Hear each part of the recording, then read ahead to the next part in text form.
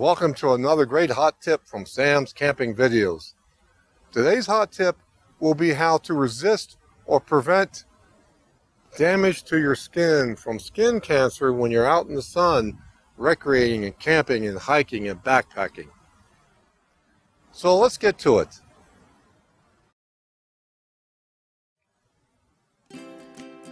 Now, there's a lot of times when we were young to where we just worship the sun.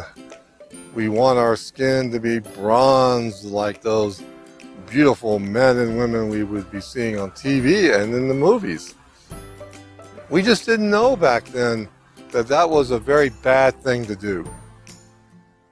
Years later, doctors and scientists told us that prolonged exposure to the sun especially in the southern latitudes of the United States, could produce cancer, and in particular skin cancer. And while being exposed to the sun from a very young age, perhaps in your single digits through your teenage years, and continuing on with that habit, many, many, many of people that I knew, both in my personal and in my professional life, developed skin cancer because of it. And they paid some the ultimate price. I don't want that to happen to you folks. So when you're out in the sun, especially if you're young, use sunblock. Use it all the time. Use it on your children. Get them in the habit of using sunblock. This will resist and hopefully prevent skin cancer late in life. Now, some of you folks out there, you may have been seduced and tempted by those artificial sun boxes, which are called tanning booths. That is nuts. Don't put yourself into any of those tanning booths. Yes, they'll give you a, good tan if you're light of skin like me, but they will produce skin cancer someday. Don't do it. Don't be silly. Don't be stupid. Don't use tanning booths. Now, for people my age who didn't know about the damage the sun could cause, especially skin cancer, uh, we have to use other alternatives to minimize any further exposure. So far, I've been very fortunate. I've never been diagnosed with skin cancer or shown no uh, symptoms of it.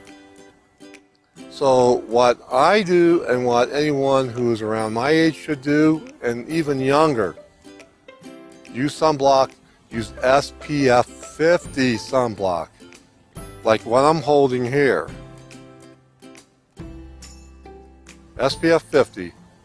It can be any brand. Just make sure that you lavish it on yourself. And don't be skimpy with it either. Other things that you can do to minimize the possibility of skin cancer is uh, protect as much of your skin as you can. Now, I'm out in the forest. I'm in a cool to cold environment, so it's natural to be covered up the way that I am. But this morning, before I came outside for the day, I still use sunblock on my arms. Now, I'm wearing long jeans. Uh, didn't bring any casual shorts of any kind, so I didn't use any sunblock on my legs this morning. But later on in the summer, I will be using sunblock on my legs. So I use it all over my face, my neck, neck here, even below the t-shirt line here. Because some of the shirts, you know, that you may be wearing, you know, well, they got like a sort of a V-neck to them. You got to protect that area too and also wear hats. Now, I'm not following my own advice right now, uh, mainly because I didn't want a shadow, you know, in my face while I was filming this video for you. But wear wide brim hats. You've seen me wear one in many of my Sam's camping videos. So in closing, protect your skin from skin cancer. You can still recreate out in the forest, in the desert, on the beach and still be protected from the sun. Wear clothes to cover up as much of your skin as you possibly can. And when that's not feasible because of the heat, then you use sunblock on every exposed inch of your body. Use SPF 50 if possible. Don't use 30 or 20 or even, I've even seen those which have been labeled as SPF 10s, which are totally useless for anybody. And don't be putting SPF 10s on your little children. You're doing them damage. We love our children. We don't want them to develop skin cancer later. So give them SPF 50s right off the bat.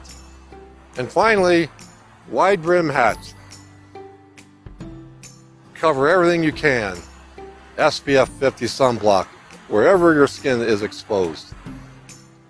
And you may have to apply it several times a day if you get wet, like you're at a lake or a river or the beach. Put it back on after you dry off. I'm not in any of those environments, so I can go a full day on one SPF 50 treatment in the morning. So please look out for the sun. The sun gives us life, but if you overindulge in your worship of the sun, you will pay the ultimate price of skin cancer. And I don't want that to happen to you. Look out for my next hot tip. Like this video if you like the content and the subject and you want more hot tips to come forward to you. Until next time, be safe, have fun. Goodbye.